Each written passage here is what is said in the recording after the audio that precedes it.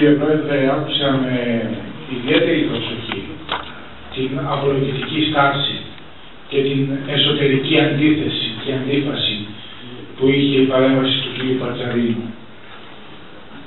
Ήταν καταλώς αντιφατική.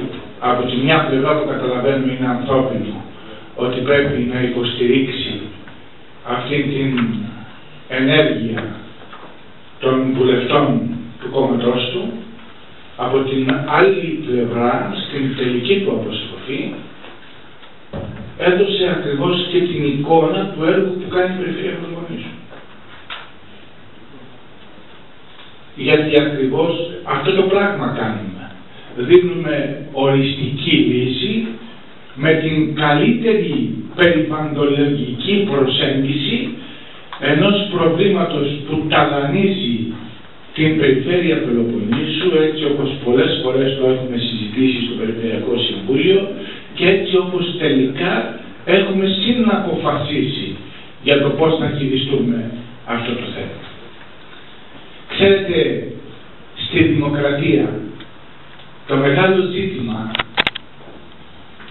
στην καταξίωση της εύρυθμης δημοκρατικής λειτουργίας είναι η συναπόφαση όλων ότι η συζήτηση θα είναι επικοδομητική, θα είναι ειλικρινής και για τα σημερινά δεδομένα θα πρέπει να έχει και έγκριτους όρους τεχνοκρατικής προσέγγισης. Άλλως δεν μπορούμε να κάνουμε κουβέντα. Εκείνο που με πείραξε περισσότερο στην ερώτηση των κυρίων βουλευτών ήταν το ότι ο κύριος Πετράκος φυγομάχησε όταν ήταν εδώ δεν έλεγε απολύτως τίποτα πάνω σε αυτό το θέμα και τώρα κάτω από την ασφάλεια της δικής του αντίληψης, της δικής του αριστερής αντίληψης για την εξουσία νιώθει εξαιρετικά βέβαιος και ασφαλής και με αυτόν τον τρόπο προσπαθεί να προσεγγίσει το πρόβλημα.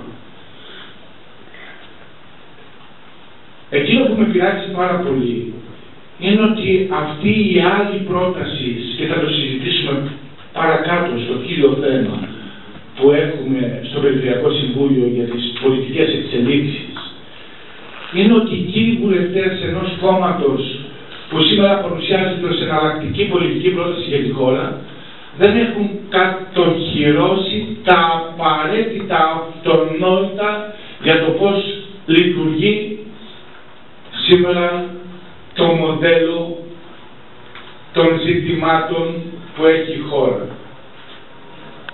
Και αντιλαμβάνουμε τον κύριο Κώτικα να μην έχει καμία απολύτως σχέση και να είναι σε έναν παραδοσιακό μυθικό κόσμο.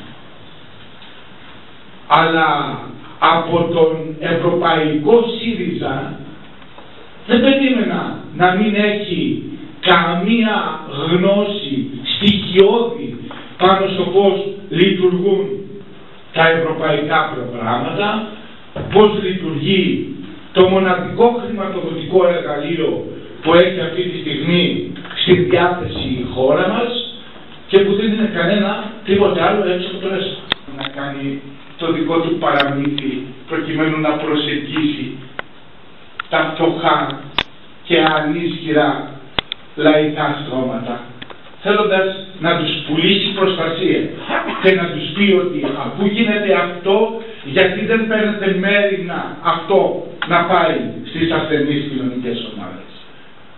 Αλλά ο κύριος Φώτης το κάνει κάτι επάγγελμα γιατί δεν πιστεύει στην Ευρώπη. Έχει δικαιολογία ο κύριος Ο ΣΥΡΙΖΑ όμως δεν έχει απολύτως καμία δικαιολογία αφού προσπαθεί με χέρια και με δόντια να πείσει τους Έλληνες πολίτες και εγώ το πιστεύω απόλυτα ότι έχει ευρωπαϊκό προσανατολισμό. Και θέλω να διαχωρίσω την θέση των 7 βουλευτών από την πολιτική λογική του ΣΥΡΙΖΑ. Εκτιμώ ότι στην ερώτηση αυτή που δείχνει ότι οι κύριοι βουλευτές αντί να ασχολούνται σοβαρά και επαγγελματικά με την ευθύνη τους και την αρμοδιότητά τους ως βουλευτές και να έχουν το αντίστοιχο την αντίστοιχη ικανότητα γνώσεων για να προσεγγίσουν ένα σημαντικό πρόβλημα, λένε πράγματα τα οποία δεν στέκουν. Το 1.800 λοιπόν είναι η δημοσιότητα του προγράμματος. Όλα τα ευρωπαϊκά προγράμματα έχουν δημοσιότητα. Πριν λίγο καιρό, την προηγούμενη εβδομάδα, είχαμε την σύγκληση της Επιτροπής Παρακολούθησης, της Ευρωπαϊκής της Επιτροπής Παρακολούθησης για το ΕΣΠΑ των νέων περιφερειών της περιφέρειας Πελοποννήσου, της Δυτικής Ελλάδος και των Ιωνίων Νήσων, της περιφέρειας Ιωνίων Νήσων.